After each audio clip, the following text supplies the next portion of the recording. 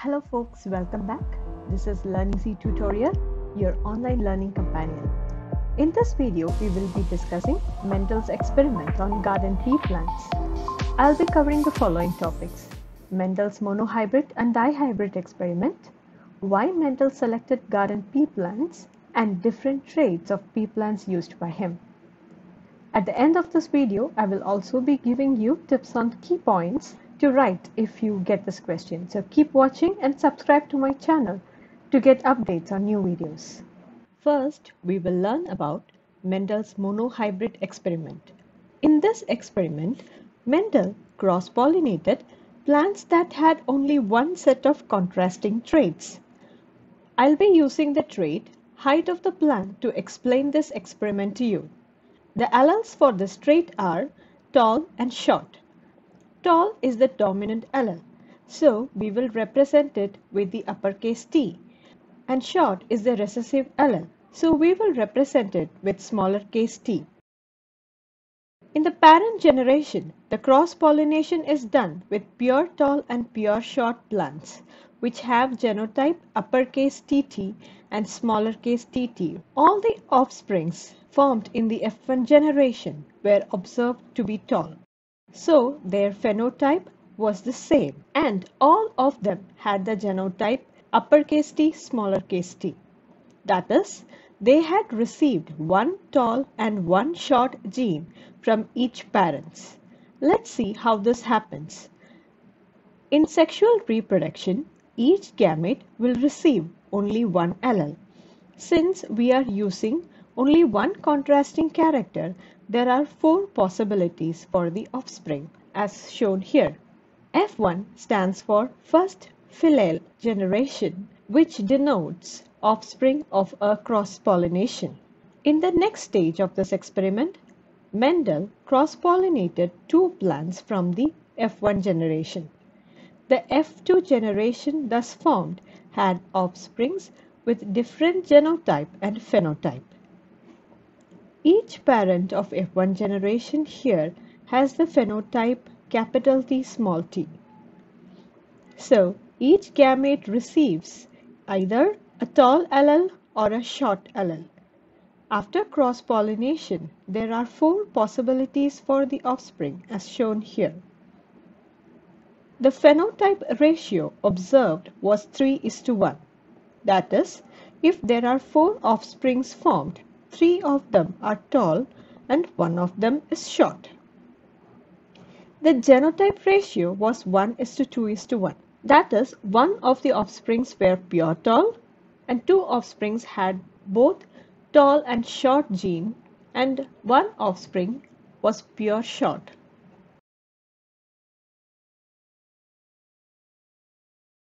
Now in Mendel's dihybrid experiment, he cross-pollinated plants that had two sets of contrasting traits. I'll be using the traits shape and color of the seed to explain this experiment to you. The alleles for the shape are round and wrinkled and alleles for the trait color are yellow and green. Round shape and yellow color are dominant traits. Wrinkle shape and green color are recessive traits. So we can represent them as shown here. In the parent generation, the cross-pollination is done between a plant that has round-shaped yellow-colored seeds and wrinkle-shaped green-colored seeds. Represented with the genotype uppercase RRYY and lowercase RRYY respectively. Each parent gamete receives one set of alleles as shown here.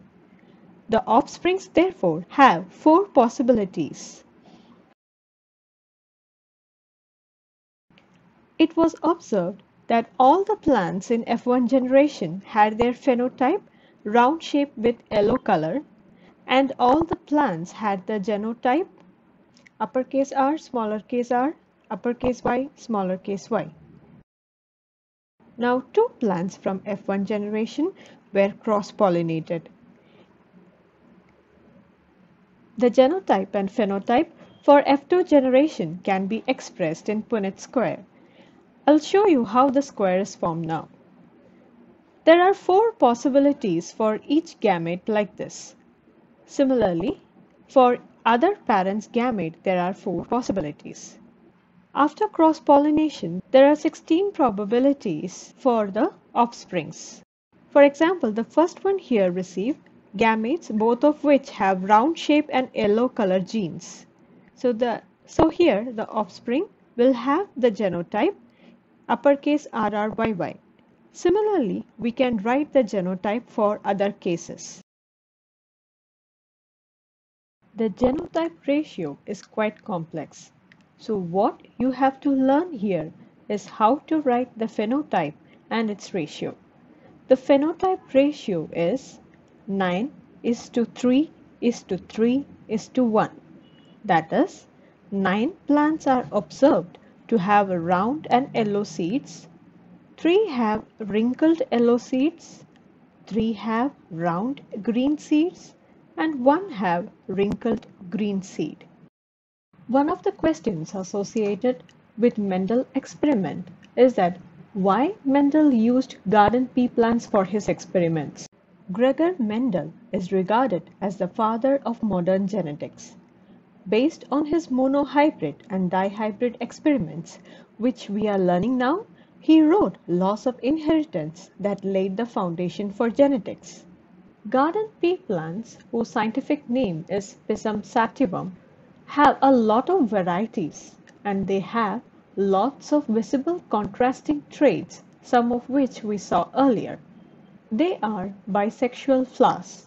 This means that they have both male and female reproductive parts in their flower and can do self-pollination. But by removing the male part, we can do artificial pollination to get desired variety. This helped Mendel with his experiments. They are also easy to cultivate and different breeds are easily available. They are annual plants, that is, you can see the yield in a year and, and he didn't have to wait for a long time to observe the result of his experiment. For all these reasons, Mendel used pea plants in his experiment.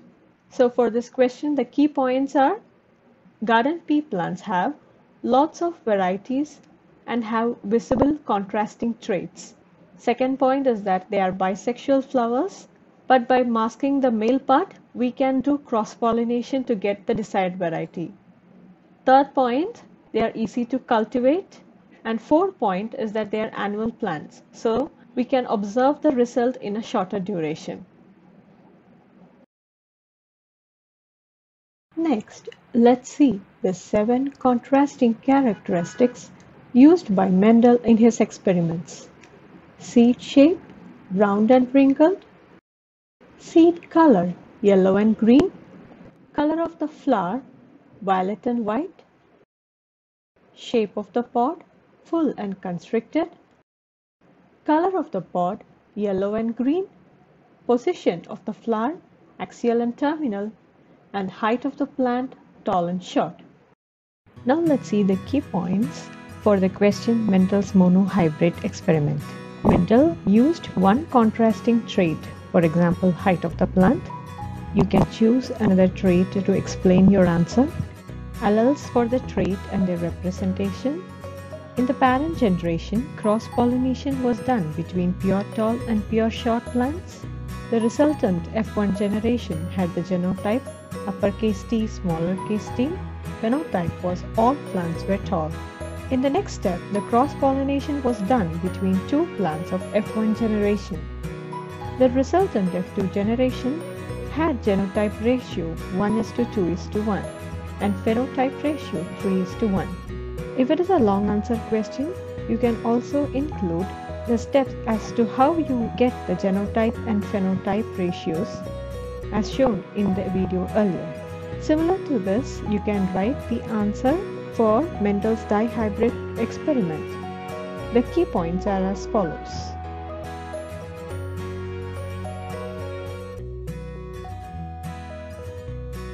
Please find the notes for this topic in the description below. That's all for now. If you found this video useful, please do like and share. and subscribe to my channel to get updates on new videos. Happy learning. Thank you. Bye bye.